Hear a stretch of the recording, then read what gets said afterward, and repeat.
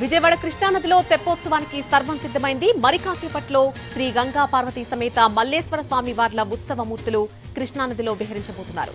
తొలుత శివాలయం మెట్ల మార్గం నుంచి ఊరేగింపుగా దుర్గాఘాట్కు చేరుకోబోతోంది ఉత్సవం. దుర్గాఘాట్ దగ్గర స్వామివారి ఉత్సవమూర్తులకు వైదిక కమిటీ సభ్యులు ప్రత్యేక పూజా కార్యక్రమాలు నిర్వహించబోతున్నారు.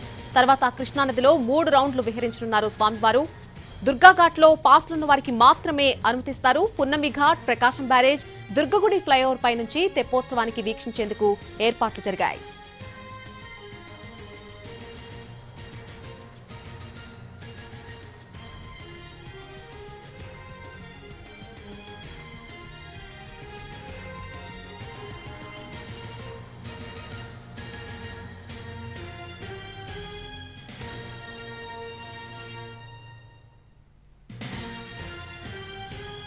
కృష్ణానదిలో తెప్పోత్సవానికి సంబంధించి ఏర్పాట్లన్నీ కూడా ఇప్పటికే పూర్తయ్యాయి. దీనికి సంబంధించి పూర్తి అప్డేట్ అందించడానికి మా ప్రతినిధి రాము లైవ్లో అందిస్తారు.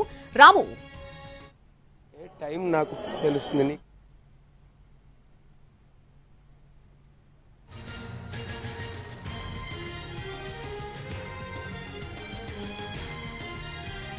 ఖచ్చితంగా తెప్పోత్సవం అనేది దసరా ఉత్సవాలలో చివరి రోజు జరుపుతారు. తెప్పోత్సవానికి సంబంధించి పూర్తి స్థాయి ఏర్పాట్లను అయితే ఇప్పటి వరకు కూడా అధికారులు చేసిన పరిస్థితి ఉంది. మనం చూడొచ్చు తెప్పోత్సవంకి కావాల్సినటువంటి హంస వాహనాన్ని ఇప్పటికే సిద్ధం చేశారు. హంస వాహనాన్ని తీసు ఈ హంస వాహనంపై దుర్గా మల్లేశ్వర స్వామి వారు గంగా సమేతంగా ఇక్కడ కృష్ణా నదిలో విహారం చేయబోతున్నారు. కృష్ణా నదిలో విహారం చేయబోయేటటువంటి స్వామివార్ల కోసం అని చేసిన ఏర్పాట్లు పూర్తి స్థాయిలో అన్ని కూడా చేయడం జరిగింది. అయితే దీనికి సంబంధించి పాసుల విషయంలో కొంత గందరగోళం నెలకొన్న నేపథ్యంలో కూడా వెల్లంపల్లి శ్రీనివాస్ అయితే తనకు వచ్చినటువంటి పాసులను వెనక్కి తిప్పి ఇచ్చేశారని అయితే సమాచారం అందుతుంది. అయితే ఇంకొక పక్కన బ- బోటు పైన ఉన్నటువంటి ఏర్పాట్లు ఎలా ఉన్నాయి? ఎలా చేశారు? ఇప్పటిదాకా అంటే మరికొద్ది సేపట్లో తెప్పోత్సవం ప్రారంభం కానున్న నేపథ్యంలో కూడా ఇక్కడ జరుగుతున్నటువంటి ఏర్పాట్లను కానీ ఇక్కడ ఉన్న పరిస్థితులను కానీ మొత్తం అన్నింటినీ కూడా మంత్రి కొట్టు సత్యనారాయణ అలాగే అధికారులు కూడా పరిశీలిస్తున్న పద్ధతి అయితే ఉంది. దాంతో పాటు ఇప్పుడు మంత్రి కొట్టు మంత్రి కొట్టు సత్యనారాయణ ఉన్నారు. సార్ చెప్పండి ఎట్లా తెప్పోత్సవానికి సంబంధించినంత వరకు ఎటువంటి ఏర్పాట్లు తెప్పోత్సవానికి అన్ని రెడీగా సిద్ధం చేస్తున్నాం. అమ్మవారు ఊరేగింపుగా బయలుదేరారు.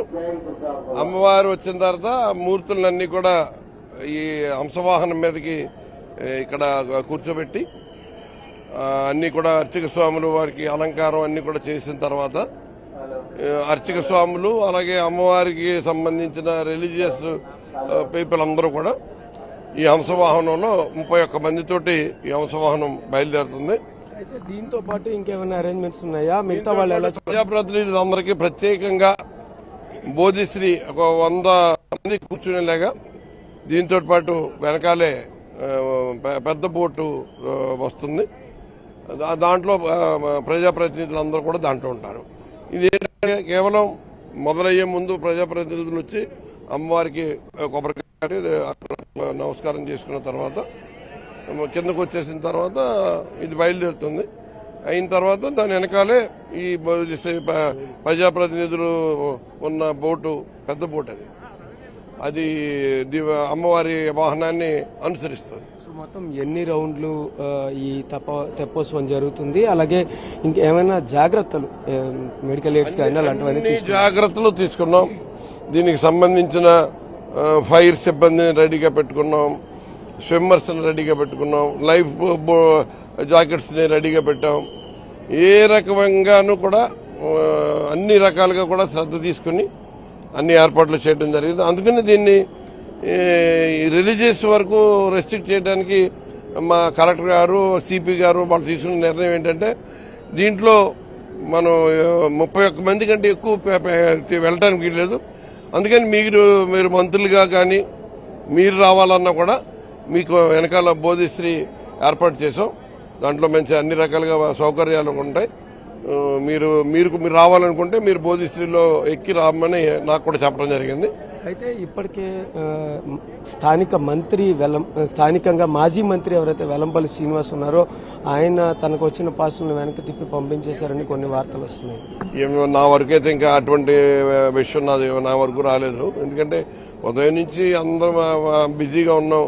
వచ్చిన భక్తులందరికీ స- సరైన స- సరైన సౌకర్యాలతోటి వాళ్ళు సంతోషంగా వెళ్ళాలి అమ్మవారి దర్శనం బాగా జరగాలి. ఎందుకంటే భవానీలు ఇప్పుడు వచ్చేదంతా భవానీలు.